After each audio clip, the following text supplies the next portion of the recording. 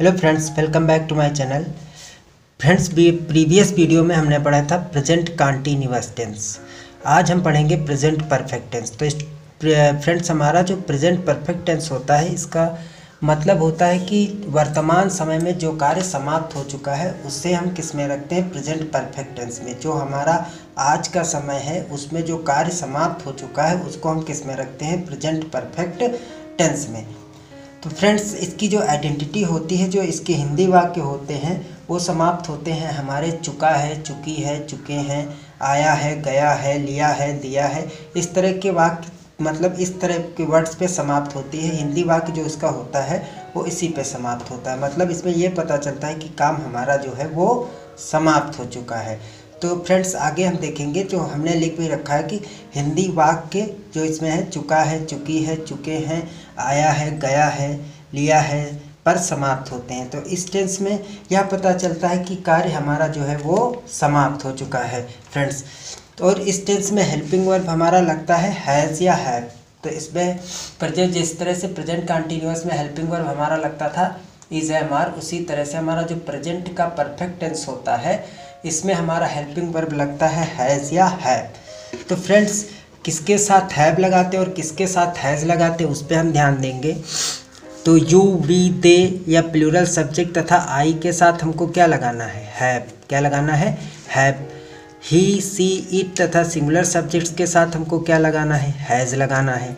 और तो इतना हमारा क्लियर हो गया कि किसके साथ हमको हैज़ लगाना और किसके साथ हमको हैव लगाना है। अब हम आगे बढ़ेंगे फ्रेंड्स मेन वर्ब हमारा जो है, वो है वर्ब की थर्ड फॉर्म जैसे वर्ब की चार फॉर्म है first form third form second form ING form तो इसमें हमको मेन वर्ब की जो वर्ब होगा, कार्य होगा, उसकी थर्ड फॉर्म को लगाना है। तो इस तो फ्रेंड्स हमारा जो इसमें रूल होता है फर्मेंटिव उसका क्या होता है? सबसे पहले हमको फ्रेंड्स लिखना है, इसमें सब्जेक्ट उसके बाद हैज़ या हैव सब्जेक्ट जैसा है, उसके हिसाब से हम इसमें क्या लगाएँगे? हैज़ या हैव फिर हम इसमें क्या लिखेंगे? वर्ब की कौन सी फॉर्म थर्ड फॉर्म फिर ऑब्जेक्ट हमारा आ जाएगा, फिर अदर वर्ड आएगा। तो सबसे पहले हमको लिखना है सब्जेक्ट सब्जेक्ट के बाद लिखना हैज़ या हैव हैज़ हैव के बाद हमको लिखना है वर्ब की कौन सी फॉर्म थर्ड फॉर्म उसके बाद हम लिखेंगे ऑब्जेक्ट प्लस अदर वर्ड तो जैसे पहला सेंटेंस लिखा है, मोहन अपना पाठ याद कर चुका है। कौन अपना पाठ याद कर चुका है? मोहन अपना पाठ याद कर चुका है। तो सब्जेक्ट हमारा कौन है इसमें? मोहन। काम क्या है? मोहन का याद कर चुका है। तो मोहन का काम है याद करना। और क्या याद करना है? पाठ याद करना। इसी तरह से दूसरा, इस तरह से भी हम इसको बोल सकते हैं, मोहन ने अपना पाठ याद कर लिया। मतलब मोहन का काम जो है वो हो चुका है या मोहन ने अपना काम कर लिया है। मोहन का काम जो था वो समाप्त हो गया। तो सब्जेक्ट हमारा इसमें कौन है? मोहन। काम को करने वाला है हमारा मोहन। फिर हम इसमें क्या लिखेंगे? मोहन हमारा एक सिंगुलर सब्जेक्ट है, एक वचन है। तो मोहन के साथ हम क्या लगाएँगे? हैज़ फिर हम इसमें क्या लिखेंगे? वर्ब की थर्ड फॉर्म तो वर्ब क्या है? याद करना। लर्न होता है। फ़र्स्ट फॉर्म तो इसकी थर्ड हो जाएगी।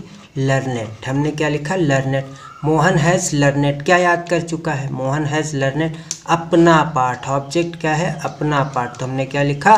His lesson Mohan has learnt his lesson तो इसको हम हिंदी में दो तरीके से बोल सकते हैं। जैसे मोहन मोहन अपना पाठ याद कर चुका है। मोहन ने अपना पाठ याद कर लिया। बात तो वही है। चाहे हम इस तरह से बोलें, चाहे इस तरह से बोलें, बात दोनों का सेंस जो निकलेगा वो यही निकलेगा कि काम हो चुका है। तो स्टूडेंट्स ध्यान से देखेंगे, मोहन अपना पाठ याद कर चुका Mohan has learned his lesson हम इस तरह से इसको कर सकते हैं। तो इसका रूल ये होता है, सबसे पहले हमको लिखना है सब्जेक्ट उसके बाद हैज़ या हैव फिर वर्ब की थर्ड फॉर्म फिर ऑब्जेक्ट उसके बाद अदर वर्ड तो सबसे पहले जो अफर्मेटिव हमारा सेंटेंस होता है, उसमें सबसे पहले हमको लिखना होता है सब्जेक्ट तो हमने सब्जेक्ट लिखा। फिर सब्जेक्ट के अनुसार हमको लगाना हेल्पिंग वर्ब था। क्या लगाया? हैज़ या हैव में से क्या लगाना था? हैज़ हैव में से जो सा सब्जेक्ट उस सब्जेक्ट के अनुसार हमने क्या लगा दिया? हैज़ उसके बाद हम क्या लिखेंगे? वर्ब की कौन सी फॉर्म थर्ड फॉर्म तो फ़र्स्ट तो हमने क्या याद करने की? थर्ड फॉर्म लर्नेट लगा दी। फिर ऑब्जेक्ट हमारा क्या था? अपना पार्ट तो हमने हिज लेसन लिख दिया। Mohan has learnt his lesson अब आगे देखेंगे हम। जैसे लिखा है, मैंने अपना पा, काम पूरा कर लिया है। मैंने अपना काम पूरा कर लिया है। तो यहाँ पर सब्जेक्ट कौन है? आई आई के साथ हम क्या लगाते हैं? अभी पढ़ा हमने कि I you we they plural के साथ हैव तो हमने क्या लगाया? हैव हैप लिख दिया। अब यहाँ पे हमारा काम क्या है? पूरा कर लिया। तो पूरा करने की होती कंप्लीट तो थर्ड फॉर्म क्या हो जाएगी? कंप्लीटेड तो I have completed I have completed किसका काम? अपना काम। तो आई के साथ हम अपने के लिए क्या लगाएँगे? My I have completed my work तो ये समझ में आ गया होगा आप लोग की, कि मैंने अपना काम कर लिया तो सब्जेक्ट कौन था? आई लिखा। आई के हिसाब से हमारा क्या लगना चाहिए? हेल्पिंग वर्ब हैव तो हमने हैव लगा दिया। उसके बाद हमने क्या लिखा? मेन वर्ब की थर्ड फॉर्म उसके बाद जो हमारा ऑब्जेक्ट था, वो हमने लिख दिया। माई वर्क सो सब्जेक्ट होता वही है जो काम को करता है। काम क्या होता है? जो वर्ब क्या होता है? जो काम होता है हमारा। और ऑब्जेक्ट क्या होता है? जो काम हमने किया। या जो भी सब्जेक्ट है, वो करेगा। हमने उसे बुला लिया है। तो इसमें सब्जेक्ट हमारा कौन है? हमने उसे क्या है? ऑब्जेक्ट बुला लिया है। हमारा वर्ब है। तो सबसे पहले हमको लिखना क्या है? सब्जेक्ट तो हमने क्या लिखा? वी वी हमारा प्लूरल सब्जेक्ट है तो प्लूरल है। उसके बाद हम उसके साथ क्या लगाएँगे? हैव तो हमने हेल्पिंग वर्ब क्या लगाया हैव और बुलाने की क्या होती है? कार्ड या इनवाइटेड तो यहाँ पे बुलाया है, पुकारा है। तो हम यहाँ पर क्या लिखेंगे? काल अब काल की थर्ड फॉर्म हो जाएगी कार्ड वी हैव कार्ड हमने किसको बुलाया? उससे। तो ही का जो पॉजिटिव वो ऑब्जेक्टिव केस होता है, वो होता है हमारा हिम तो हमने उसे बुला लिया है तो वी हैव कॉल्ड हिम अब हम आगे बढ़ेंगे। निगेटिव सेंटेंस पे आएँगे। जब निगेटिव सेंटेंस होता है मतलब सेंटेंस में नहीं या कभी नहीं लिखा होता है तो उसके लिए हम क्या लगाते हैं? नॉट या नेवर तो उस नॉट या नेवर का प्रयोग हमको करना है हेल्पिंग वर्ब के बाद। हमारा हेल्पिंग वर्ब इसमें क्या है? हैज़ या हैव तो हैज़ हैव के बाद हम इसमें नॉट का नवर का प्रयोग करेंगे। तो निगेटिव का हमारा जो रूल है, वो क्या है? Subject has or have not या नेवर ऑब्जेक्ट अदर वर्ड तो अब आगे बढ़ेंगे, जैसे और इसमें हमने क्या नहीं लिखा? वर्ब की थर्ड फॉर्म नॉट या नेवर के बाद हम वर्ब की कौन सी फॉर्म का प्रयोग करेंगे? वर्ब की थर्ड फॉर्म का। इसमें क्या लगेगी? वर्ब की थर्ड फॉर्म तो subject has have not never फिर वर्ब की third form object plus other word तो इसमें स्टूडेंट देखेंगे हमारा जो सब्जेक्ट है वो जैसे लिखा है, डाकिया पत्र नहीं ला चुका है। कौन पत्र नहीं ला चुका है? डाकिया। तो हमारा सब्जेक्ट कौन है?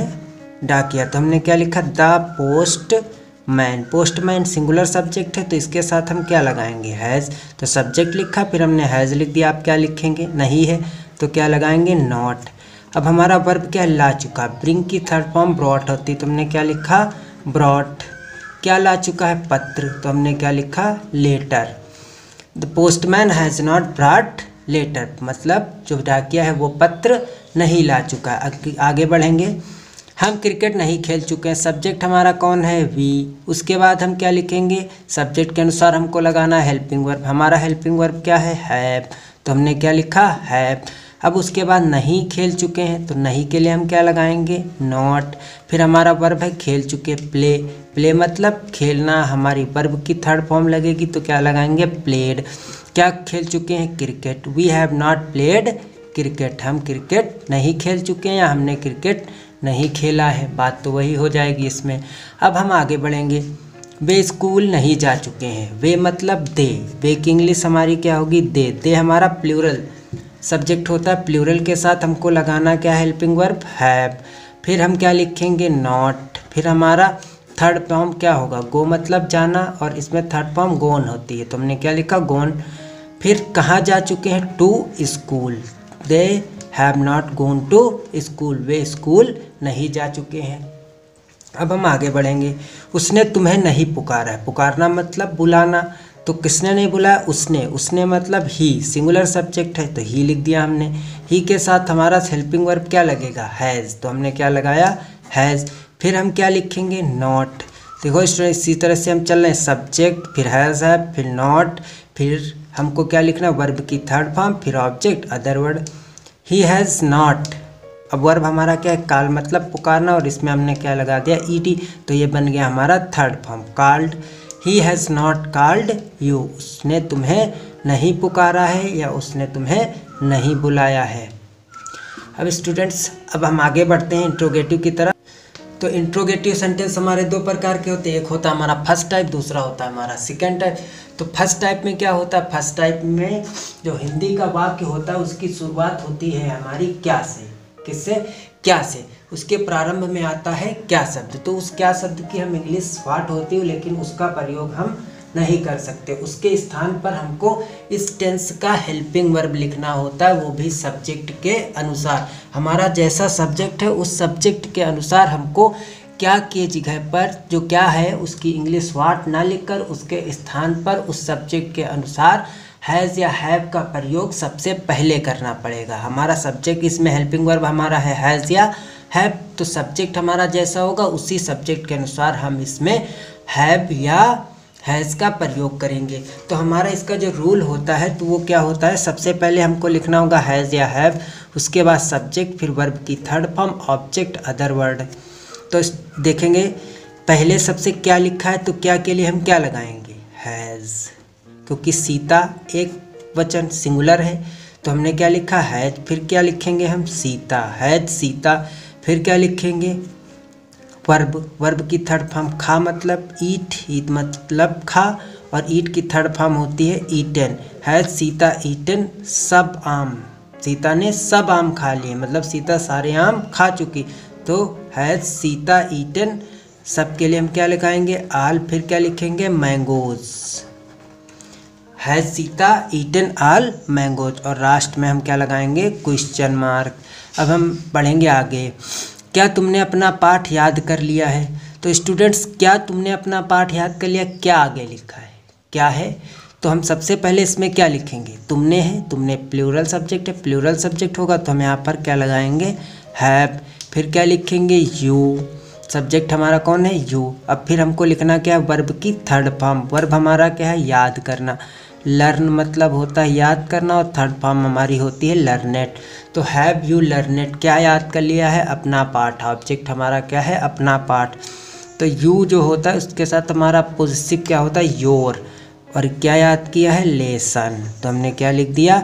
Have you learnt your lesson फिर क्या आएगा? हमारा क्या? कपिल क्रिकेट खेल चुका है.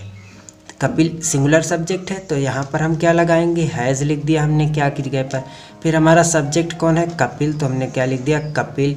और कपिल का वर्ब क्या था? काम क्या था? खेलना। तो उस क्या लिखेंगे? प्ले तो हमने प्ले और प्लेड कर दिया। प्ले की थर्ड फॉर्म क्या हो गई? प्लेड क्या खेला उसने? Cricket has Kapil played cricket मतलब क्या कपिल क्रिकेट खेल चुका है? तो इसकी इंग्लिश हम कैसे बनाएँगे? हैज़ कपिल प्लेड क्रिकेट क्या कपिल क्रिकेट खेल चुका है? अब आगे स्टूडेंट देखेंगे, क्या उन्होंने किताबें खरीद ली है? तो क्या उन्होंने? मतलब वे बहुवचन है प्लूरल सब्जेक्ट है। तो हम यहाँ पर क्या की इंग्लिश यहाँ पर क्या लिखेंगे, क्या कि इंग्लिश है? क्योंकि उन्होंने प्लूरल में आया तो उन्होंने के लिए हम क्या लगाएँगे? दे। फिर काम क्या है? खरीद ली है मतलब बाई बॉट थर्ड फॉर्म हमारी क्या हो जाएगी? बॉट तो हमने क्या लिखा? बॉट हैव दे बॉट क्या खरीद लिया है? Books have they bought books. Last में हम लगा देंगे क्वेश्चन मार्क। तो स्टूडेंट्स इंट्रोगेटिव जो फ़र्स्ट टाइप होता है, उसमें हमें सब्जेक्ट के अनुसार helping verb helping verb has या हैव को सबसे पहले लिखना, वो भी सब्जेक्ट के अनुसार, उसके बाद सब्जेक्ट वर्ब की third form plus object plus other word इसका जो रूल है, अगर रूल आप लोग लर्न कर लेंगे तो बहुत ही जल्दी आप इसको कर सकते हैं। बहुत ही इजी तरीके से आपको करना आ जाएगा। अब हम आते हैं डब्ल्यू एच टाइप पर, या सेकेंड टाइप भी बोलते हैं इसको। इसमें क्या होता है? इसमें जो हिंदी वाक्य होता है, उसमें कोई भी प्रश्न सूचक शब्द क्वेश्चन वर्ड बोलते हैं इंग्लिश में, हिंदी में बोलते हैं प्रश्न सूचक शब्द तो वो प्रश्न सूचक शब्द हिंदी वाक्य में बीच में आते हैं। जब वो बीच में आते हैं, जब उनकी इंग्लिश बनाते हैं हम तो सबसे पहले उसी क्वेश्चन वर्ड को बाहर निकाल कर लाते हैं और उसकी इंग्लिश लिखते हैं। उसके बाद सब्जेक्ट के अनुसार हैज़ या हैव लगा देते हैं। उसके बाद सब्जेक्ट वर्ब की third form plus object last में अदर वर्ड क्वेश्चन मार्क का प्रयोग कर देते हैं। तो इसमें जो सेकेंड टाइप होता है तो उसमें यह होता है कि सबसे पहले हमें क्या करना है? उसी क्वेश्चन वर्ड को बाहर लाना है, जिससे सवाल पूछा जा रहा है, जिससे हमारा क्वेश्चन क्रिएट हो रहा है। तो स्टूडेंट्स हम आगे देखेंगे देखेंगे क्वेश्चन वर्ड हमारा जो रूल इसका बनेगा। तो सबसे पहले हमको क्वेश्चन वर्ड लिखना, उसके बाद हैज़ हैव लिखना, फिर सब्जेक्ट लिखना वर्ब की थर्ड फॉर्म उसके बाद ऑब्जेक्ट तो सबसे पहले क्वेश्चन वर्ड इसमें क्या है? चपरासी कहाँ चला गया? तो सबसे पहले इसमें क्वेश्चन हमारा किससे हो रहा है? कहाँ से? तो कहाँ क्या है क्वेश्चन वर्ड तो सबसे पहले हम इसी क्वेश्चन वर्ड की इंग्लिश लिखेंगे। तो क्या लिखेंगे? वेयर वेयर लिख दिया। अब चपरासी जो हमारा है, वो प्यून वो कितना है? सिंगुलर सब्जेक्ट है। तो उसके साथ हमको लगाना हैज़ तो उससे पहले हम क्या लगा देंगे? हैज़ फिर उसके बाद हम सब्जेक्ट पूछा तो सब्जेक्ट हमारा कौन है? प्यून चपरासी वेयर हैज़ प्यून फिर चला गया है मतलब जा चुका है, काम हो चुका है तो गो की थर्ड फॉर्म क्या होगी? गोन और लास्ट में हम क्या लगा देंगे? थर्ड फॉर्म तो एकदम इजी है कि नहीं है? सबसे पहले क्वेश्चन वर्ड लिखा हैज़ हैव लगा दिया सब्जेक्ट को लिख दिया वर्ब की थर्ड फॉर्म इसमें कोई ऑब्जेक्ट था नहीं, छोड़ दिया, और लास्ट में हमने क्वेश्चन मार्क लगा दिया। अब आगे हम बढ़ेंगे। उन्होंने आज क्या खाया? उन्होंने आज क्या खाया? सब्जेक्ट इसमें कौन है? उन्होंने और हमारा क्वेश्चन वर्ड क्या है? क्वेश्चन वर्ड है क्या? तो क्या की इंग्लिश अब हम व्हाट लिख सकते हैं, क्योंकि ये क्या शुरुआत में नहीं, बीच में आया। तो जब बीच में है तो सबसे पहले हम इसी की इंग्लिश लिखेंगे लिखेंगे व्हाट उसके बाद हम क्या लिखेंगे? उन्होंने सब्जेक्ट प्लूरल है तो हम फिर क्या लिखेंगे? हेल्पिंग वर्ब अपना है उसके बाद हम लिखेंगे सब्जेक्ट हमारा सब्जेक्ट कौन है? दे तो हमने क्या लिखा? दे खाने की क्या होती, ईट की थर्ड फॉर्म होती है हमारी ईटन। तो हमने क्या लिख दिया, eaten. What have they eaten today मतलब कब खाया, आज खाया लास्ट में। तो सवाल हमारा क्वेश्चन हमारा था, उन्होंने आज क्या खाया? तो what have they eaten today इस तरह से हम इसको इंग्लिश में भी पूछ सकते हैं। तो सबसे पहले मैं question word helping word subject main verb की थर्ड फॉर्म और उसके बाद अदर वर्ड या ऑब्जेक्ट लिखेंगे। अब अगले पे हम आते हैं। जैसे बोला गया, वह आज दिल्ली क्यों चला गया है? सवाल है, क्यों चला गया है? तो सबसे पहले हम इसी क्यों की इंग्लिश लिखेंगे। अब सब्जेक्ट हमारा सिंगुलर है तो हम क्या हेल्पिंग वर्ब हम भी हमारा सिंगुलर होगा हैज़ लगाएँगे। फिर सब्जेक्ट हमारा कौन था? ही उसको हमने लिख दिया। उसके बाद हम क्या लिखेंगे? क्वेश्चन वर्ड हो गया हैज़ हैव हो गया सब्जेक्ट हो गया। अब क्या बोल रहा है?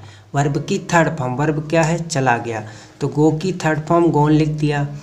वाई हैज़ ही गॉन फिर कहाँ चला गया? टू दिल्ली ऑब्जेक्ट हमारा क्या है? दिल्ली और फिर अदर वर्ड में हमारा क्या चला जाएगा? टू डे तो लास्ट में हमारा क्या गया? टू डे तो वह आज दिल्ली क्यों चला गया है? तो हमारा सबसे पहले क्यों लिखा गया?